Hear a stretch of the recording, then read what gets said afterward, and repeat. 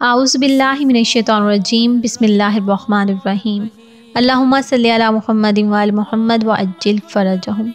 कब्रों पे लिखे गए नाम पढ़ना आया जायज़ है या नहीं? रिवायत में है कि कब्रों पे लिखे गए नाम पढ़ने से एहतियात करना चाहिए, क्योंकि कब्रों पे लिखे गए नाम पढ़ना मकरू है।